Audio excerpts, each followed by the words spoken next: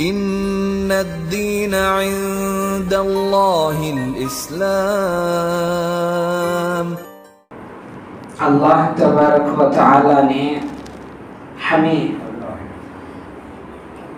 जनाब मोहम्मद रसूलुल्लाह सल्लल्लाहु अलैहि वसल्लम के उम्मत में पैदा फरमाकर बहुत ज़्यादा एहसान का मामला फरमाया है रमज़ानुल मुबारक में भी इस उम्मत पर अल्लाह तबारक व ताला ने बहुत ज़्यादा एहसान फरमाया है। ऐसे इनामात फरमाए जो हमसे पहले जो कौमें गुजर गई, उन पर वो इनामात नहीं अता फरमाए। हज़रत सैदना अबू हुरैरा रज़ी अल्लाह रिवायत करते हैं। जनाब मोहम्मद रसूलुल्लाह सल्लल्लाहु अलैहि वसल्लम ने इरशाद फरमाया कि रमज़ानुल मुबारक में खुसूसी ऐसी पाँच नेमतें हैं, जो सिर्फ़ और सिर्फ़ अल्लाह तबारक व ताला ने इस उम्मत को अता फरमाई। इससे पहली दूसरी कौमों पर भी रोज़े फ़र्ज़ थे। रमज़ान आता था, वो भी भूखे रहते थे, वो भी प्यासे रहते थे, लेकिन वो इनामात उन पर नाजिल नहीं हुए, उनके लिए नहीं दिए गए, जो इनामात इस उम्मत के लिए दिए गए। वो कौन से इनामात हैं जो खसूसी तौर पर अल्लाह तबारक व ने इस उम्मत को अता फरमाए?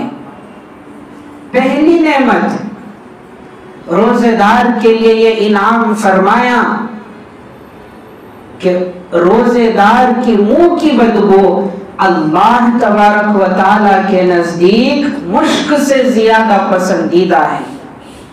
रोज़े छोड़ने का सोचना भी नहीं चाहिए। बाज लोग बहाने ढूंढते हैं कि हज़रत बखार गई थी, रोजा छोड़ डालेगा क्या?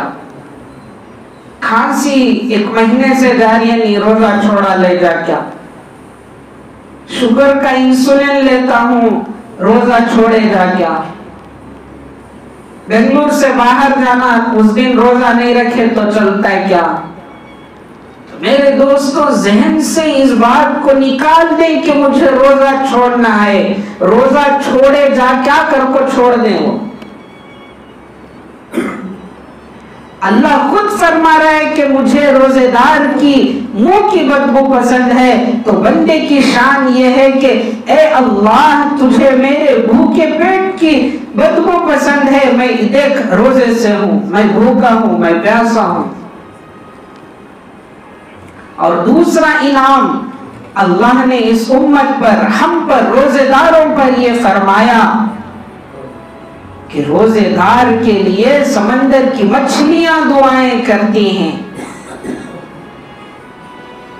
समंदर की मछलियाँ जो गुनहगार नहीं माँ बाप को सताने वाली नहीं, किसी का हक मारने वाली नहीं, मासूम मखलूक, ये मछलियाँ अपनी जबानों से दुआ करती हैं, कि परवरदिगार, रोजेदार, दिखावे के लिए नहीं सहरी खाकर सुबह से शाम तक भूखा है तेरे लिए। एक घूट, एक खतरा पानी का पिया नहीं है तेरे लिए। अपनी ख्वाहिशात से दूर है तेरे लिए। इसके पास ना माल की कमी है, ना अनाज की कमी है, ना रोटी की कमी है, बल्कि भूखा है, अनाज बांट रहा है। इफ्तारी का सामान बांट रहा है सहरी का इंतज़ाम कर रहा है इफ्तारी का इंतज़ाम कर रहा है। ए अल्लाह, इसकी मगफिरत कर दे। मछलियाँ दुआएँ कर रही हैं। और तीसरा इनाम अल्लाह ने हम पर यह फरमाया कि तुम जो है ज़मीन पर भूखे हो, फर्श पर, अर्श पर अल्लाह तबारक व ताला तुम्हारे लिए जन्नत को सवार रहे हैं। जन्नत को हर रोज जो है पाक साफ़ किया जाता है। किसके लिए? रोजेदार के लिए। घर के कामों काज में भूखा रहना आया। दुनिया को संवारने के लिए हमें भूखा रहना आया। सफ़र करते हैं, तब भूखा रहना याद आया।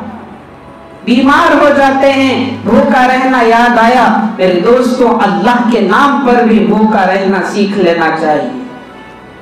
और कहीं बंदों को तकलीफ़ ना हो जाए, बंदे रोज़े से हैं, कहीं गुनाह ना हो जाए, कहीं खता ना हो जाए, कहीं लफ्जिश ना हो जाए, कहीं अल्लाह के नाफरमान ना बन जाए अल्लाह तबारक व ताला ने चौथा इनाम फरमाया सरकश शयातीन, सारे बहकाने वाले शयातीन को बंद कर दिया।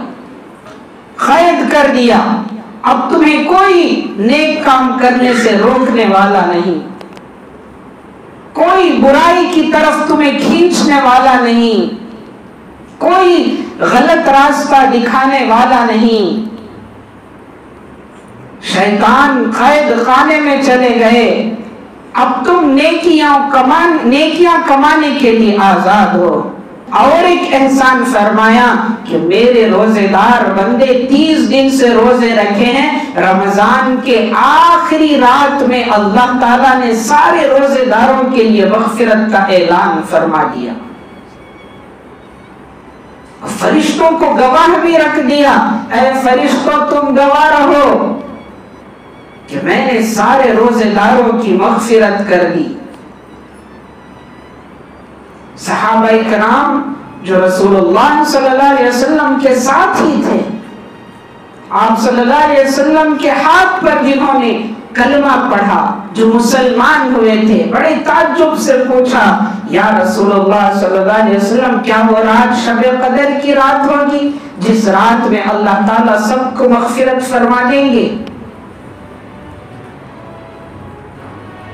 आप सल्लल्लाहु अलैहि वसल्लम ने फरमाया कि नहीं वो शब कदर की रात नहीं, बल्कि दुनिया का उसूल है कि जब कोई मेहनत करता है तो उसे आखिर में मजदूरी मिलती है। जब कोई अच्छा काम करता है तो उसे इनाम दिया जाता है। ये रात इनाम की रात है। ये रात मजदूरी लेने की रात है। एक तरफ़ हम नाफरमानियाँ करते रहे, फिर भी अल्लाह तबारक व ताला इनामात की बारिश फरमाते रहे। फजर छोड़कर जब हम सोए, लेकिन कभी भी अल्लाह ने नाश्ता नहीं छोड़ाया।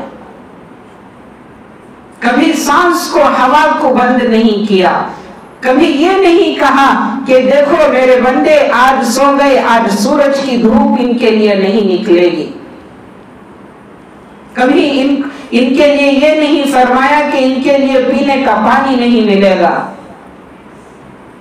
मेरे दोस्तों अल्लाह तबारक व ताला बगैर मांगे के जब इनामात अता फरमाते हैं तो जब मजदूरी करेंगे तो सोचें कि अल्लाह तबारक व ताला क्या देंगे।